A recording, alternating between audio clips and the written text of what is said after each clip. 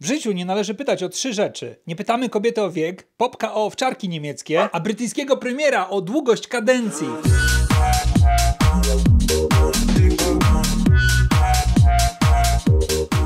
Nawet jeśli ostatnie dwa lata spędziliście w jaskini, z dala od cywilizacji, pod jakimś dużym kamieniem, to i tak wiecie, że premierem wszystkich Brytyjczyków jest Rishi Sunak. Nie regulujcie wyświetlaczy. Tymczasowym, bo wybranym niecałe dwa lata temu w trybie awaryjnym. E, profesjonalną metodą papier, nożyce, kamień. Tymczasowym, bo większość obecnych brytyjskich wyborców uważa, że za całe te szambo z 2020 roku Rysio wraz ze swoimi kolegami powinien stać w kolejce po zupkę więzienną, a nie po stołek premiera. Tymczasowym, bo w tym roku w Wielkiej Brytanii odbędą się wybory parlamentarne i nie zapowiada się, żeby Rysiula został z nami na dłużej. Tymczasowym, bo niedawno wytłumaczył wkurzonym brytyjskim rolnikom, że pracują dla miłości, a nie dla pieniędzy. No ale pomimo fatalnych recenzji i błotnistych wyników sondażowych, Rysio uważa, że w wyścigu po stołek premiera idzie mu naprawdę nieźle. Rysio ślepy nie jest, obserwuje inne kraje i doskonale widzi, że jeśli ludzie są, są komuś przeciwni, to potem i tak na niego głosują. No a samo bycie brytyjskim premierem to też nie jest lekka praca. Na liście obowiązków jest na przykład bezkarne podejmowanie jakichś tam sobie decyzji gorszych, fatalnych lub katastrofalnych w skutkach, w wyniku których wyborcy tracą zdrowie, majątek, a czasami cały pasek energii. Szczęśliwie na liście obowiązków premiera nie ma czegoś takiego jak ponoszenie odpowiedzialności za podjęte decyzje. W końcu nie twoje zdrowie, nie twój majątek i nie twój pasek energii. No więc Rysio głęboko wierzy, że nadchodząca czteroletnia kadencja stoi przed nim otworem. Głęboko też wierzy, że pamięć brytyjskiego wyborcy nie sięga dalej niż 10-15 minut wstecz. No i w związku z tym stołek premiera załatwia sobie według klasycznego podręcznika. Wystarczy trochę pojeździć po kraju, trochę pomachać do ludzi ręką, poprzytulać jakieś dzieci, trochę poudawać, że interesują go problemy przeciętnego zjadacza chleba, no i wypadałoby kilka razy pochylić się z zamyśloną miną przy kimś, kto aktualnie coś do ciebie mówi. Najlepiej przed kamerami zrobić tak. Mhm. Co prawda jakiś czas temu okazało się, że dla naszego premiera zwykli ludzie to taka jakby egzotyka. Szczęśliwie pamięć 15-minutowa brytyjskiego społeczeństwa załatwiła całą sprawę. No bo umówmy się, zwykli ludzie to w większości klasa robotnicza, a klasa robotnicza to taka grupa społeczna, która codziennie chodzi do pracy, aby zarobić na coraz wyższe rachunki. No i kilka lat temu w jednym z wywiadów nasz obecny premier Wielkiej Brytanii, nie, nie, nie regulujcie odbiorników, przyznał, że niespecjalnie kojarzy, aby w klasie robotniczej miał jakichś znajomych. I have friends who are aristocrats, I have friends who are upper class, I have friends who are, you know, working class, but uh, well, not working class, but I mix and match, and then I go to see kids from an inner city state school and tell them, you know, to apply. No i zwolennicy Rysia twierdzą, że tam wtedy na tym nagraniu to on tak sobie tylko żartował. Ale ja niestety śmiertelnie mu wierzę. No więc tegoroczna autopromocja pana premiera rozpoczęła się bardzo klasycznie. E, Rysiek rozpoczął po prostu tournée po Wielkiej Brytanii. Nagle zrobiło się go pełno zarówno w ustawianych audycjach radiowych, jak i w ustawianych programach telewizyjnych. No i nagle Rysiek pojawił się wszędzie tam, gdzie pensje pracowników wypłacane są z budżetu państwa. Tylko na którymś etapie ktoś doradził premierowi, że w tym roku wypadałoby także uderzyć w internety, bo tam są te wszystkie lajki w górę, wyświetlenia i suby. Aha, no i podobno internety to ogląda więcej osób niż radio i telewizję razem wzięte. No więc idąc za tą poradą, premier polazł do politycznego programu internetowego GB News, który od trzech lat zdobywa coraz większe wyświetlenia. No i tym samym odważny Rysio wylądował w programie internetowym o nazwie Zapytaj Premiera. No i w programie Zapytaj Premiera można było zapytać premiera, no o cokolwiek. I tutaj Ryszard przekonał się, że internet rządzi się trochę innymi prawami niż radio i telewizja. Nagle okazało się, że część osób biorących udział w forum dyskusyjnym pamięta trochę więcej niż ostatnich 10 czy 15 minut wstecz. Nagle okazało się, że są na sali osoby, które doskonale pamiętają kilka ostatnich lat, a wymogi, jakim rząd poddał społeczeństwo w roku 2021 pozostawiły na nich nieodwracalne zmiany, w tym także zdrowotne. No i podczas programu Zapytaj Premiera na widowni cierpliwie siedział sobie John Watt, facet, który podążając za rządowymi rekomendacjami zdobył w życiu wszystko nawet kilka zawałów. No a do programu Zapytaj Premiera przyszedł po to, aby dostać odpowiedzi na pytania, których nikt publicznie nie zadaje. No i jak na Szkota przystało, John przeszedł prosto do meritum. W przeszłości posłuchałem rządu, który mówił mi, abym robił co do mnie należy. Dlatego dziś jestem po trzech syropach na kaszel, jednym głównym i dwóch dodatkowych i podobnie jak część ludzi w moim położeniu mam przez to chore serce. Nie można tego naprawić, nie można tego odwrócić. Pracować się z tym nie da, a ludzie tacy jak ja pozostawieni zostali bez żadnej pomocy. W studiu na widowni siedzi jeszcze jedna osoba w dokładnie dokładnie takim samym położeniu jak ja. A oprócz niej znam ogromną rzeszę ludzi, którzy przechodzili przez masę powikłań, w tym amputację kończyn i, tak jak ja, przez zawały serca. John powiedział, że on i jemu podobni ludzie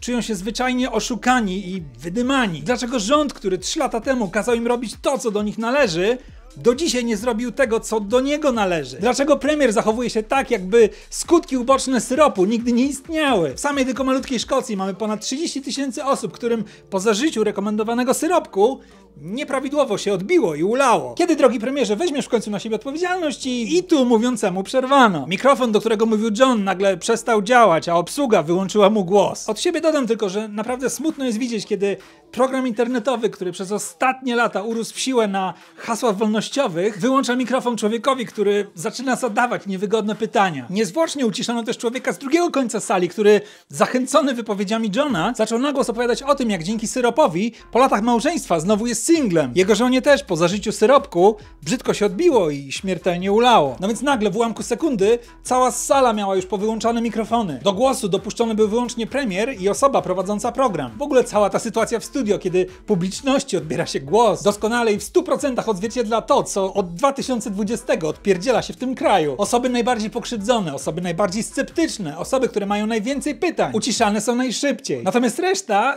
Reszta jest spoko. Reszta zapomina w 15 minut. No więc z tego miejsca może mała uwaga do każdego pseudo-wolnościowego studia, które w przyszłości zamierza organizować debaty z członkami rządu. Zdajecie sobie sprawę, że wyłączając mikrofon zwykłemu, przeciętnemu człowiekowi, który zadaje pytania, automatycznie przyznajecie mu rację. Mariola, gdzie jesteś? Sponsorem odcinka jest Letishop, serwis cashback, dzięki któremu część pieniędzy wydanych online zawsze wraca na moje konto. Od ponad 11 lat ja i krzyczący benefit wszystkie ważniejsze zakupy do domu robimy wyłącznie przez internet. A teraz, mając pod ręką serwis Letishops oraz dostęp do prawie 4000 sklepów online, co chwilę sprawdzam, jakie zniżki oferują sprzedawcy. Przykładowo, jeśli przybiega do mnie to coś i krzyczy, że chciałby zabrać nas na wakacje, to ja korzystając z Letishop sprawdzam, jakie zniżki proponują obecne biura podróży, wyślę go na te wakacje, a dodatkowo odzyskam kilka procent wydanej kwoty i każdy wygrywa.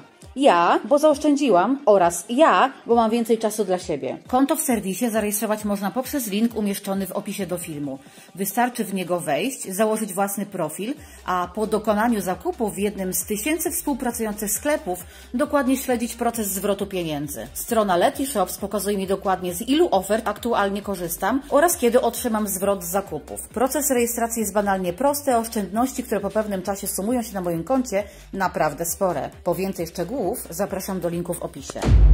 Startujący po raz drugi na stanowisko premiera Rishi Sunak do odpowiedzi na pytania Johna podszedł zlewczo, zbywczo, politycznie poprawnie. Co tylko pokazuje, że w rządzie Wielkiej Brytanii, podobnie zresztą chyba jak w każdym innym rządzie na świecie, naprawdę nikt nie czuje skruchy, że pomiędzy 2020 rokiem a Ukrainą nie pokazał się z najlepszej możliwej strony. Premier przypomniał najpierw Johnowi, że mamy w Wielkiej Brytanii genialny program o nazwie Zły syrop, zadośćuczynienie, gdzie każdy, komu po pierwszej, drugiej albo trzeciej dawce brzydko się odbiło i ulało, może starać się o indywidualne zadośćuczynienie. No i John co prawda krzyczał, że mówimy tu o ludziach uszkodzonych na resztę życia, że taki program to zdecydowanie za mało, aby zrekompensować ludziom straty i skutki uboczne. No ale na szczęście jego mikrofon nie działał. Po drugie, premier wyraził ogromne zdziwienie i teatralne zniesmaczenie, że są w tym kraju ludzie, których w jakimkolwiek temacie za cokolwiek się ucisza. I to była w sumie najzabawniejsza część tego całego spotkania z premierem. No bo człowiek stojący na czele instytucji, która każdymi możliwymi metodami od wielu lat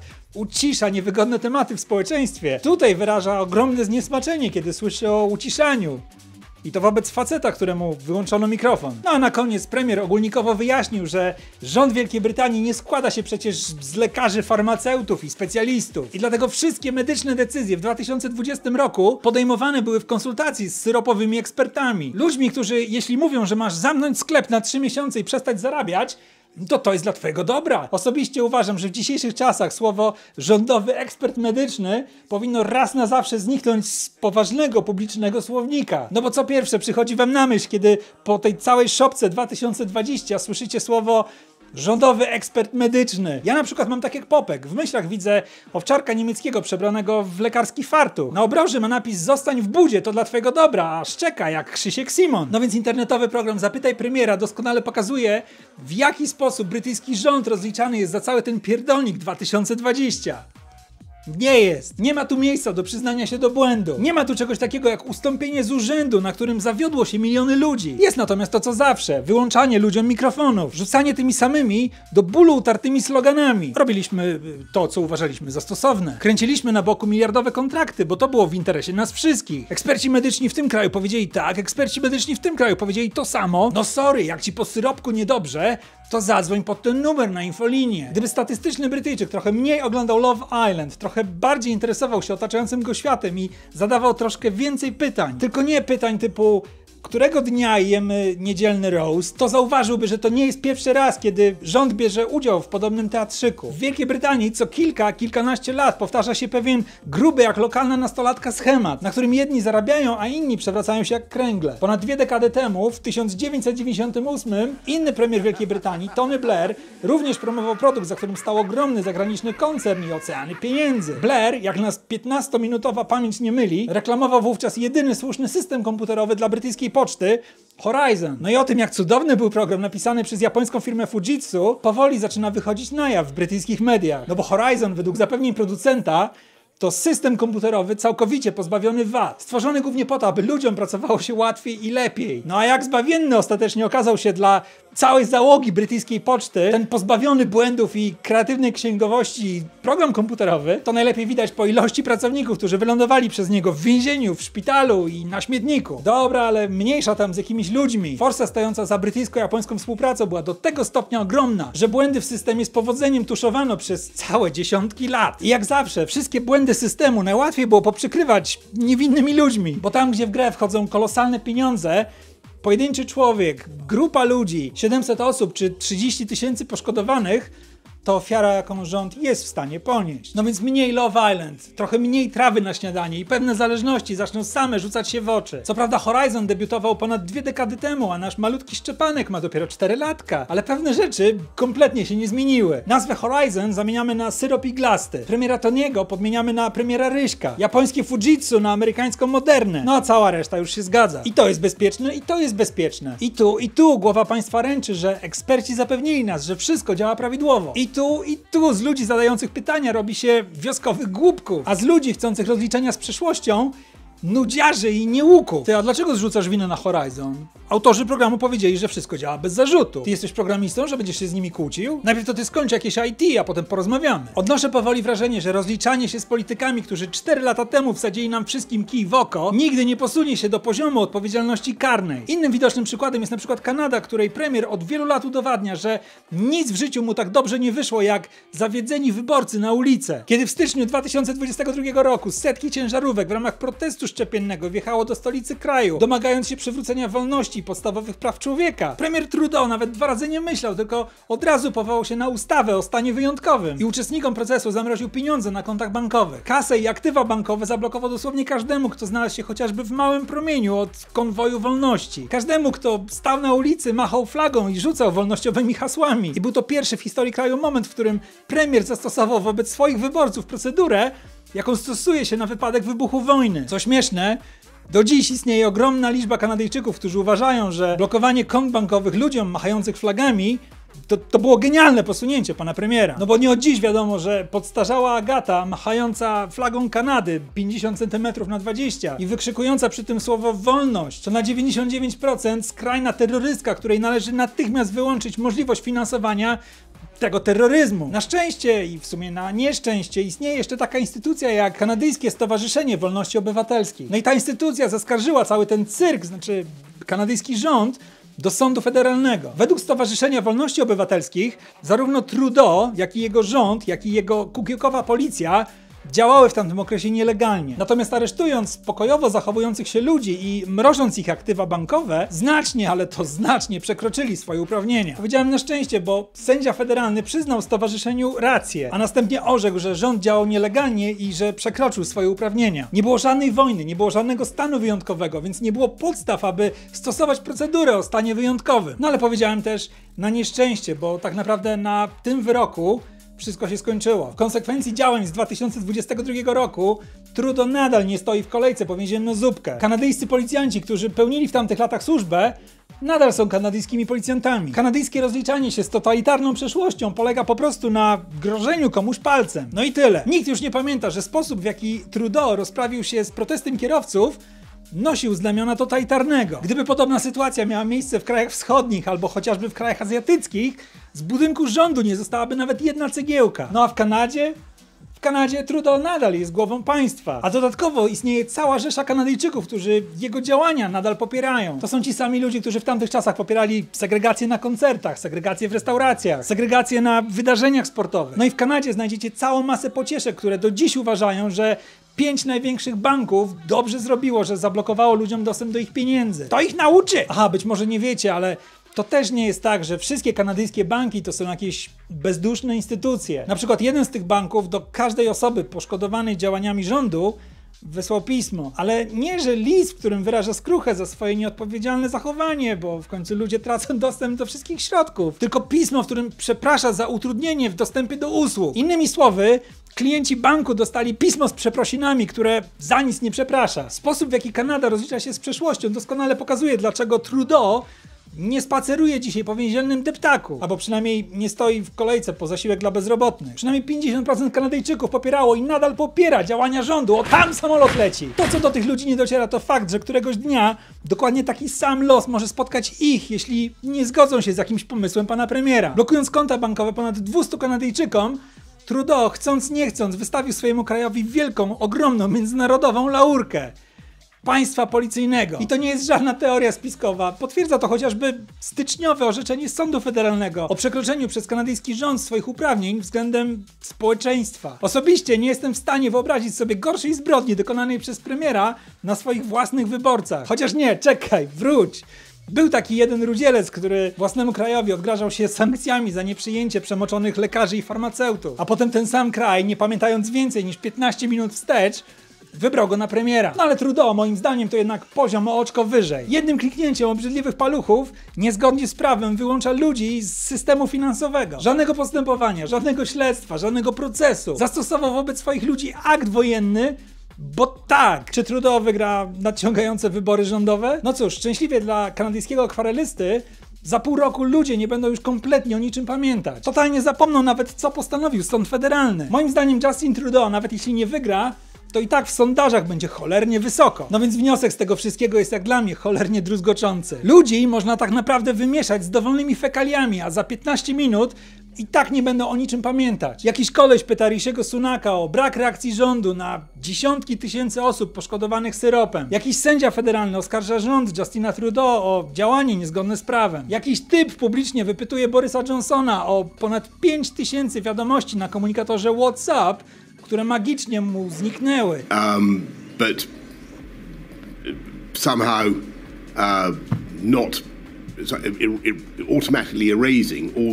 Chodzi o wiadomości, które w czasach pandemii Boris Johnson wymieniał pomiędzy członkami rządu. O której impreza, co pijemy, kiedy przelewik, co jutro ogłaszamy. Były premier Wielkiej Brytanii, Boris Johnson, publicznie twierdzi, że obciążające go wiadomości z komunikatora WhatsApp wykasowały się same. I mówi to milionom ludzi, którzy z tego samego komunikatora korzystają na co dzień i wiedzą, jak proste jest odtworzenie skasowanych wiadomości. No i mówi to w czasach, kiedy dowolne agencje hakerskie włażą w dowolne iPhony, jak do siebie na chatę, ale na całe nieszczęście nikt nie potrafi odczytać wiadomości pewnego skorumpowanego polityka. W ciekawych czasach czasach żyjemy, w takich, w których do łask wracają wymówki typu pies zjadł mi pracę domową. COVID?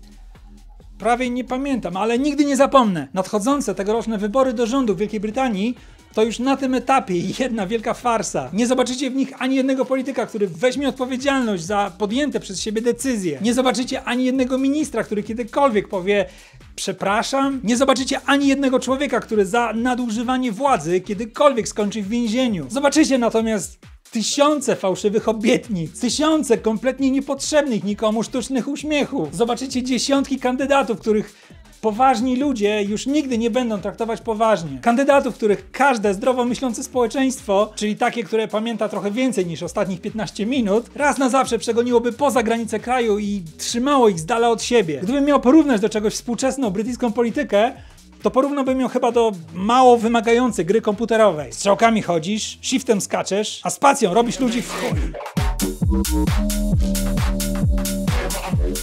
Hej patroni! Dziękuję za potężne wsparcie na serwisie Patronite. Dzięki wam, nawet pomimo tego, że mieszkam w Bostonie, nie biorę z lokalnego spożywczaka jedzenia na zeszyt. Aha, no i nie muszę rezygnować z prywatnego kucharza, kobiety sprzątającej mój dom 7 razy w tygodniu, ani gościa, któremu płacę za samo wstawianie i wystawianie samochodu z garażu. Oby tak dalej! A prezesami złotymi, którzy w tym miesiącu nasz kanał wspierali najmocniej, jak zawsze okazali się no więc Łukasz N. Karol, Rudon Right Ltd, Jarosław Góra, Anna Jakubowicz, Paweł Gruca, Paweł Kozłowski, Krzysztof Bryja i Ewelina Węglarz. A specjalnie dla Was suchar dnia.